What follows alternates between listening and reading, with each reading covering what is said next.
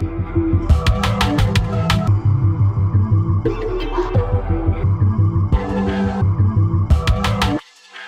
gang, it's Steve with Guitar Center. We're at NAMM 2020. We're hanging out in the Denon DJ booth with Rick. We're checking out the new Prime 2 and Prime Go. How you doing, Rick? Good, thank you. Uh, so we've seen a lot of success with the Prime 4. Is this sort of uh, the uh, you know the extension of that line? Yeah, absolutely. You know, uh, the Prime 4 has been a very successful product for us. Uh, we really harness the power of a standalone system. And uh, you know the market seems to be uh, receptive of that, and we seem to be riding this wave on the standalone technology. So yeah, man, it, it, makes complete sense for us to start to build out that range and make it more affordable uh, for more customers. So yeah, as you mentioned, the Prime 4, you know, the real powerhouse behind that system, you know, was the screen and the technology going on inside it. And at NAMM, we've announced what we're calling Engine OS.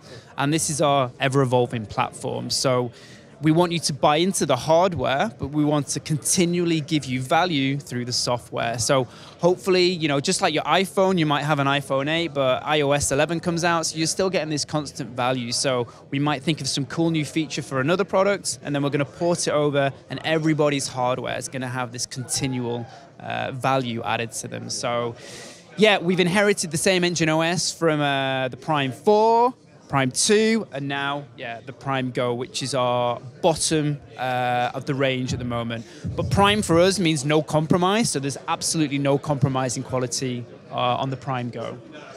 So, can you describe for me sort of uh, maybe like the profile of the user who would be going for the Go versus the 2? Yeah, you know, it's going to be super interesting. You know, I, I think it's kind of quite easy with the Prime 2. We've had good success with the Prime 4 uh, with the mobile community. So I'm pretty certain some mobile guys will pick up on it. I'm pretty certain it'll find its way into some, some bedroom DJs and maybe some installations in some small bars and stuff because it can import uh, USB, rekordbox collections, Serato databases, etc. You know, it's kind of really open, uh, ready for any type of media or, or source. So, yeah, the interesting one's going to be the Go. You know, because it is, you know, oh, because it is battery powered. This is the uh, audio lead that you guys are using. You know, it's the world's first battery powered piece of DJ hardware. You know, it's got a four hour battery life, takes about six hours to charge. Yeah, you know, this this might be a, a great piece for a mobile DJ that, that's got its main setup in the reception room, but maybe needs to do a bit of a, a cocktail hour. You know, imagine all of the Burning Man festivals. You know, I can imagine a professional DJ prepping, prepping his music. I can imagine somebody who's just interested in becoming a, a DJ and has has a, a, bit of disposable income but doesn't have any music, so we can access all of our streaming services like Tidal because they curate loads of playlists. So there's really no barriers to entry into this hardware. You know, we've got the music there, we've got the hardware, it's battery powered, so yeah, it's completely mobile. So I can't give you an answer there. So yeah, it's it's kind of set its own new category, and we haven't really got any definition around that yet. So it's going to be interesting. So let's get into a little bit of the specs. If we just sort of go left to right here, um, what are the uh, you know the knobs and functions? So the main thing you're going to see straight away is the screen. So this is a multi-touch screen, uh, just like our Prime 4 uh, and our Prime 2, but this now has a 7-inch screen, as where the Prime 4 had the 10-inch screen. So users familiar with this style of uh, a navigation, yeah, nothing has changed. So it just harnesses the same operating system. We've got integration with Tidal, so yeah, you can search for music that you don't necessarily have. You know, think of those uh, weddings where you get somebody asking you for a request, you can instantly access it. Uh, yeah, super, super powerful. And then from a hardware point of view, yeah, we've got the little small jog wheel, so full scratch control. Uh, we've got the hot, uh, the performance pads, so you can do hot cues to kind of jump around the track. We've got loops, so you can call up loop points, so you can skip to cool sections of the track quickly. Uh, the roll, so you can repeat things to kind of a performance style and and then onto uh, three band EQ. Pretty simple there. The effects engine, uh, which is assignable across both channels, so you could start to layer some nice additive sounds over the top of your tracks. And then uh, two microphone inputs, uh, combi input on the back.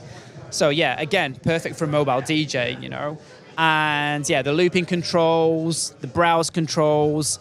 On the front, you've got an SD card slot, So you know you could put in like a terabyte's worth of music in there. So you shouldn't have to really add any more music in there. Uh, and then round the back, yeah, no compromise on the I/O with a USB A for normal USB music, USB B for connect it to a computer, and then a LAN port for connecting it into our SoundSwitch technology, XLR outputs for professional connectivity, and then balanced auxiliary inputs. So super loaded uh, front to back. So yeah, it's going to be super exciting to see where this this ends up. But I'd love to see it at Burning Man or something. That'd be super cool. Yeah, I mean, you load up your music on a USB, you load this in your backpack, you're good to go. Yeah, the only problem with Burning Man, maybe not so much uh, good internet connection. So yeah, maybe you'll have to use the USB. Either that, SD card. a lot of dust in the pots. Right, sure, sure. All right, so let's move up to the two then and Yep. see what we got there. Uh, yeah, so coming off the back of the success of the Prime 4, it kind of only made sense that we introduced uh, a two channel version of the Prime 4. So, sure, even though it's a two channel version, there's again no compromise in quality. As I said, Prime means no compromise to us, and yeah, we've ensured that we've kept our premium build quality and all of the features we can for the price point.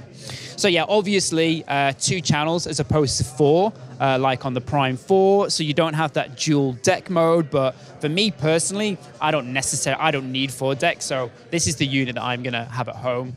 And the obvious thing is the screen. So it was the 10-inch screen on the Prime 4 and just a 7-inch screen on the Prime 2. Uh, but yeah, man, a, seven-inch screen is still pretty. It's, it's the iPad mini size, so it's still enough. Uh, and then from a ins and outs point of view, uh, we've just got the one USB A port for playing back your music off USB. Uh, the one SD card slot if you prefer playing music from an SD card. And then from a microphone point of view, uh, on the Prime 4, uh, we had a two channel, three band EQ microphone. Still two channels, uh, but just a shared EQ. Same effects engines for layering and manipulating your music, but no OLED display. And then professional connectivity on the on the rear, but the main difference is that there's no line input. So for other external sources, you don't have as much freedom. But again, the whole point of this is that it's standalone capability. So uh, you know, why do you need to be plugging in something else? So, yeah, super powerful. And yeah, it's super exciting to see that we've really capitalized on the success of the Prime 4.